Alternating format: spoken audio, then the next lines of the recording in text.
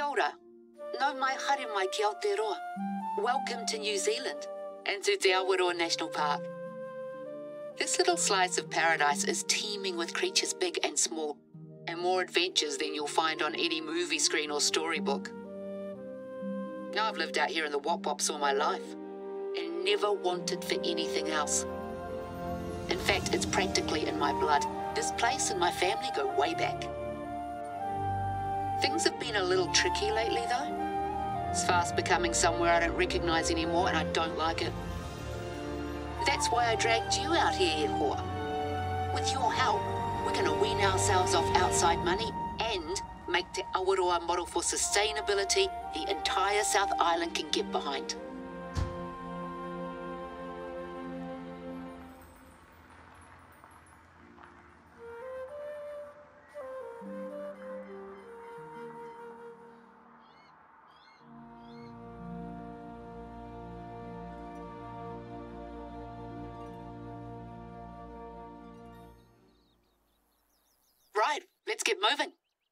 Glad to see you've arrived in one piece. Josh is my nephew. He just got his license, and I swear that kid spends more time with his hands on the radio dials than on the steering wheel. I hope he didn't talk your ear off. I've had to rely on him a lot lately since my legs started acting up again. I was planning to head out and meet you today, but here I am at home, propped up on five kinds of pillows. Ah, doctor's orders. Anyway, that's enough chit chat from me. Head over to the outpost marked on your hunter mate and let's get you started.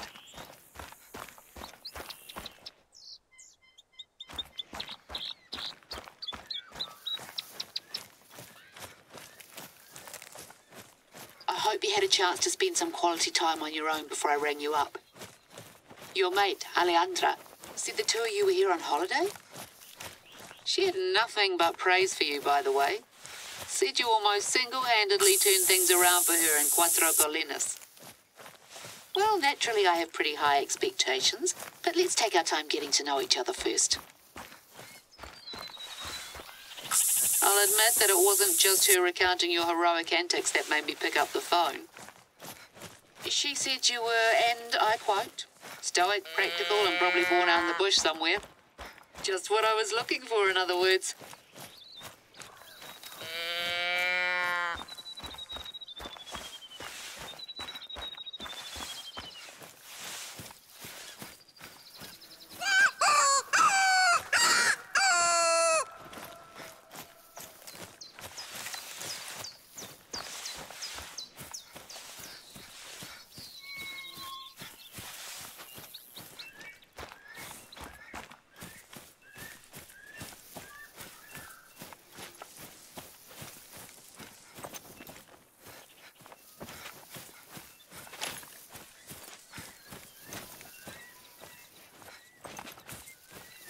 Know what a track is?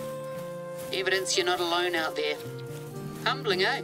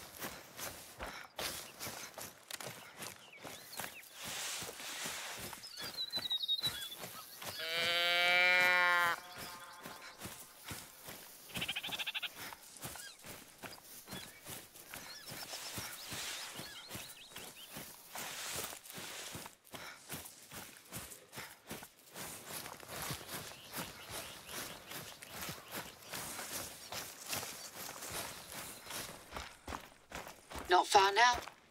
We built these outposts in the early 90s. They got the works, repurposed materials, solar roofs, rainwater tanks. That was back when people used to just call you a hippie. Now everything's sustainable, clean, green, eco-friendly. Hippies? Ha! Try trailblazers. And good for the environment doesn't have to mean bad for your back. It's pretty cozy inside. Go on, take a look.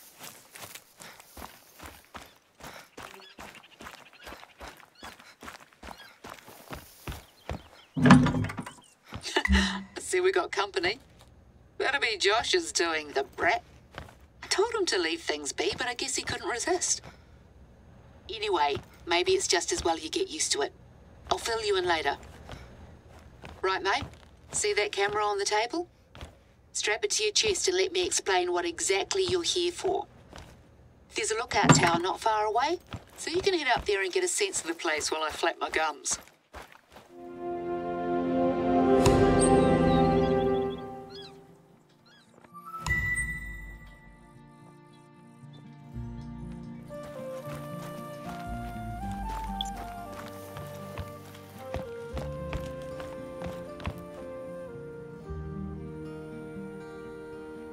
Nice and tight now. Wouldn't want it coming off right when you've got a shot lined up.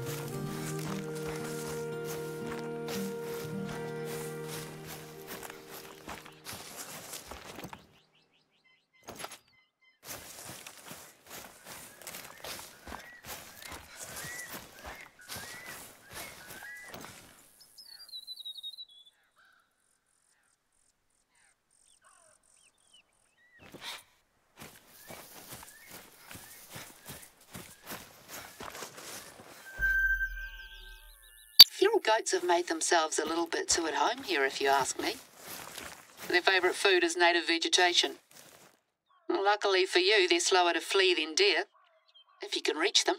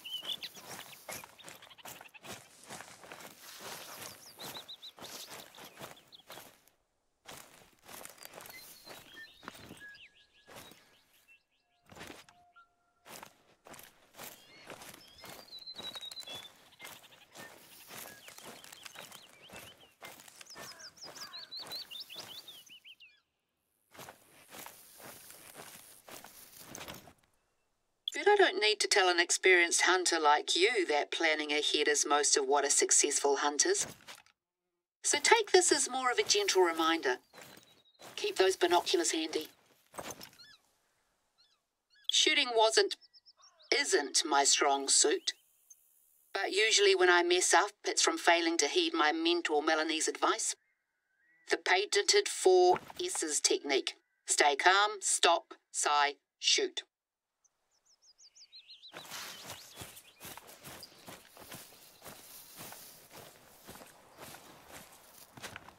Have you ever made a clean kill with your breath ragged? Didn't think so.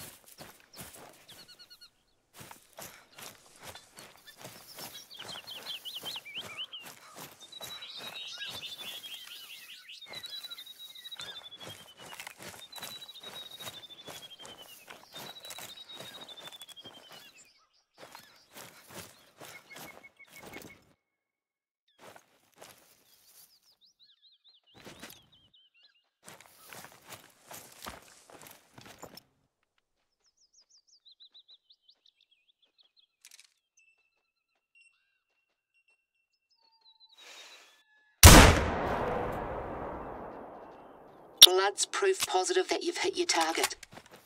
But if it's just a drop, you might have to aim for a follow-up shot. You have got the right weapon and ammo for the job, eh?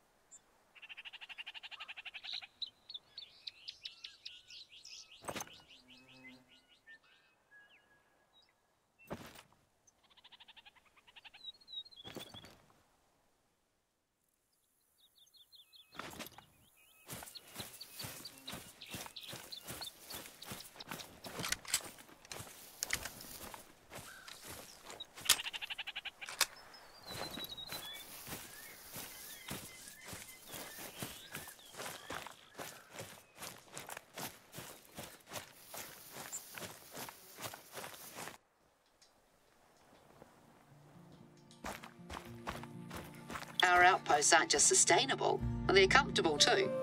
Well worth the trek.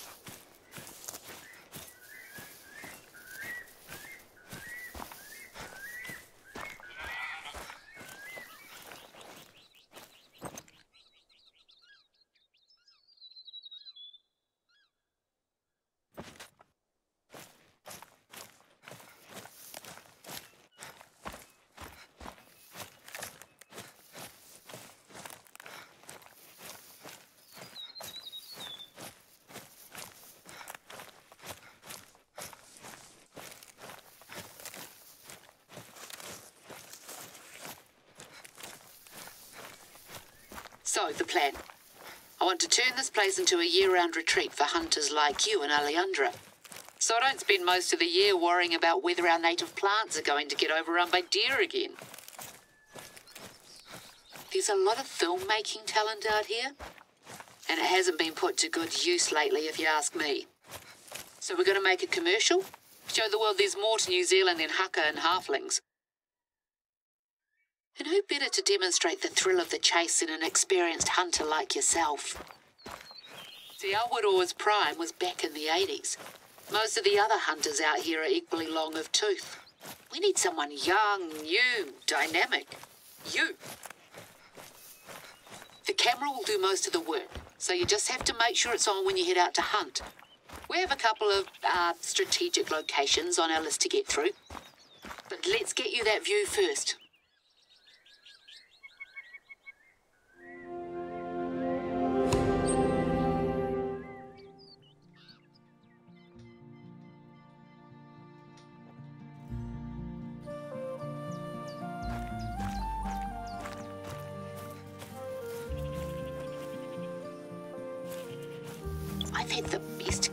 My life out here in the middle of nowhere. If you're just about ready to keel over after a hard day's hunt, or if you're waiting for a certain animal to show up, get some shut-eye.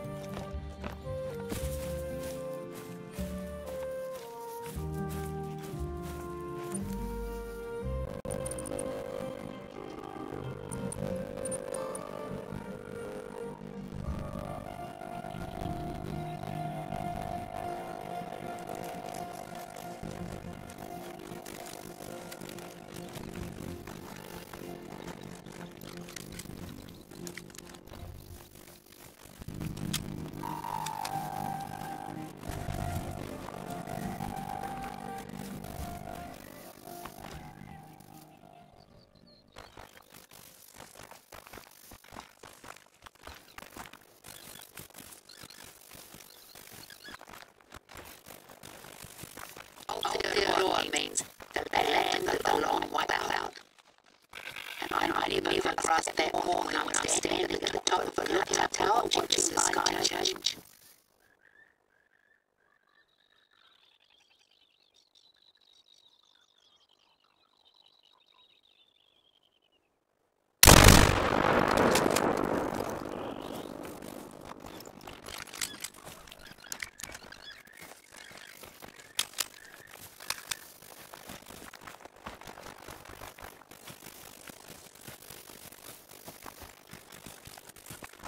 There's, there's the lookout tower just up ahead.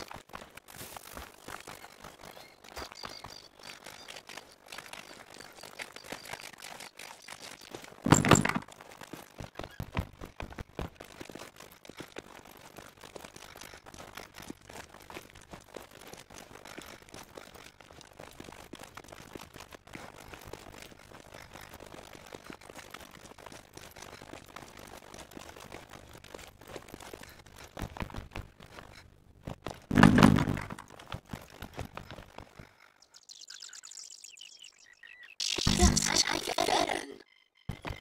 Spectacular, isn't it? This area is all rolling hills and conifers.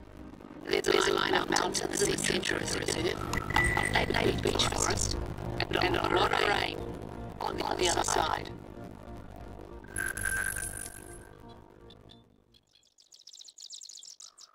Right, so Josh is a break. That place doesn't receive a lot of government funding, unfortunately, and a couple of years ago we were running out of money for field research, and the outpost really was sprucing up.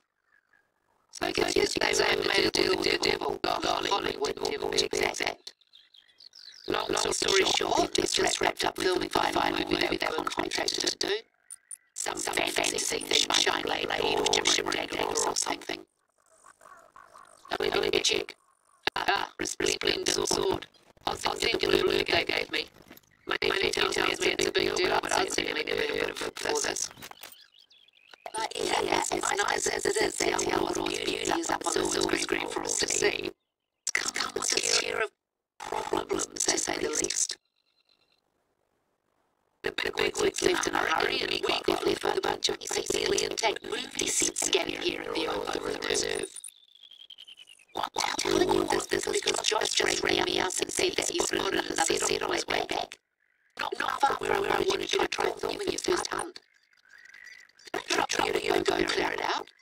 We, we can't run the risk of any footprints from the filming featuring in our footage. Cheers.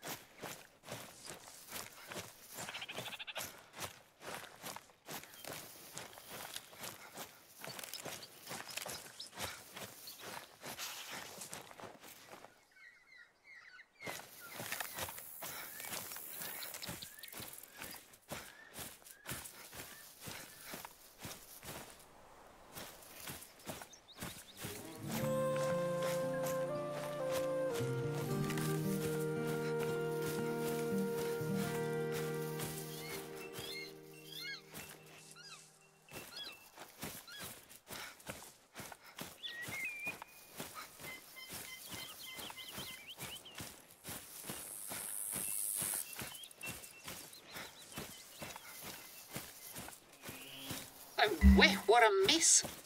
If I'd known this was going to happen, I never would have agreed to it. This isn't even the worst of it. Right, let's take it one by one. Just bundle them into crates and I'll get someone to swing by later and transport them out of the reserve.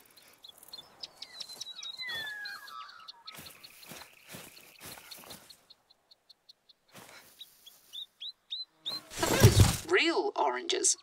Good enough to eat, eh? I hope they didn't have an actual fire in that thing. Imagine if some silly townie kid had wandered over here and decided it would be a good idea. That's Quite the last the medieval fear. What's that note? Looks more than a bit incongruous out here, if you ask me. Props list. Foam statue of haughty elf standing prow, nine foam warriors, eight golden goblets, three green screens. This reads like a Christmas carol. See any of those? Bit dodgy. Townies must have been up here. Well, even though this isn't our mess to clean up, I should probably ask around and see if anyone knows what's happened to the missing props. The last thing we need is to get blamed for this. Maybe they did a very selective sweep. I'll see if anyone has a big wig's numbers. Thanks for your help, Ihor. Let's move on. We got a little overly reliant on these tentpole releases. Well, I say more tents and fewer releases. Does that work? nah, you're right. Before you head off and film your hunts, first we've got to set the scene, so to speak. The marketing team's looking for some photos for the reserve website, something to give people a taste of what this place has to offer. Now that we've dealt with that bloody mess, you think you could head over to Lake Wakaiti and snap a few shots for us? There's a willow tree there growing right out of the water that all the uh, influencers or whatever they call themselves go bonkers for. It does make for a good photo op, I'll give it that.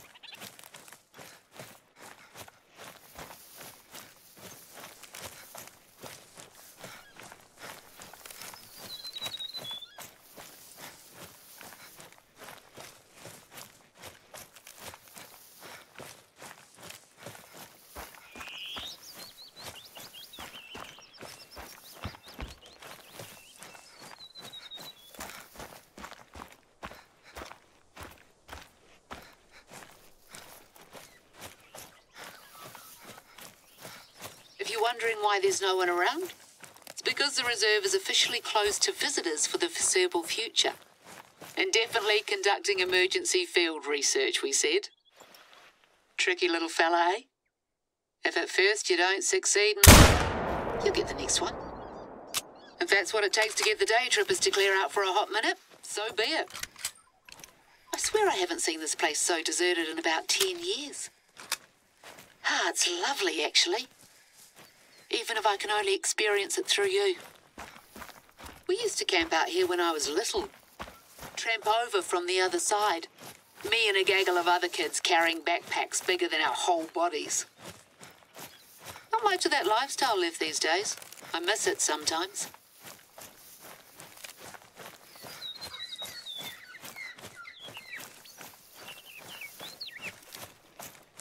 Don't fall in now. First time that's happened here.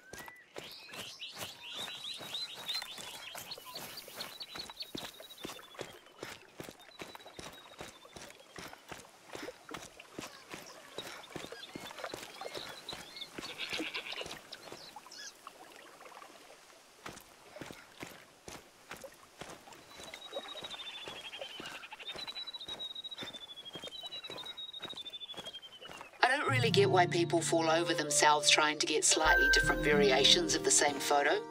Why can't they just stand back and enjoy it?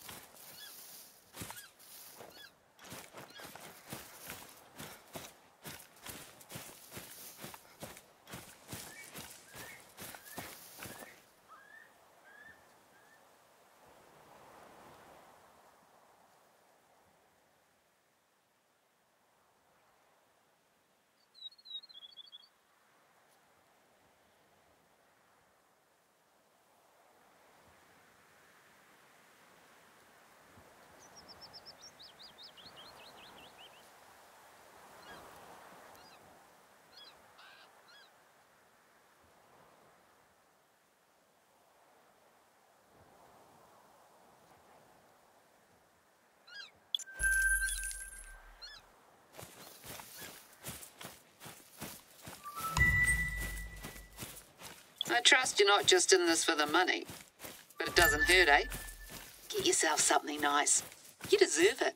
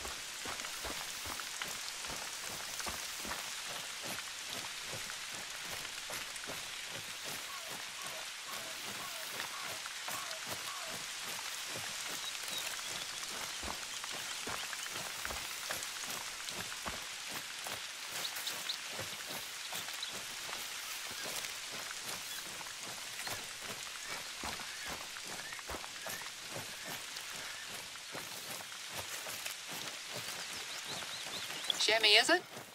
Little fellas will make you work for 'em. They're sharp as with top senses, and you better believe that once they spot you, they'll be out of there over tricky terrain before you can say, goat-antelope.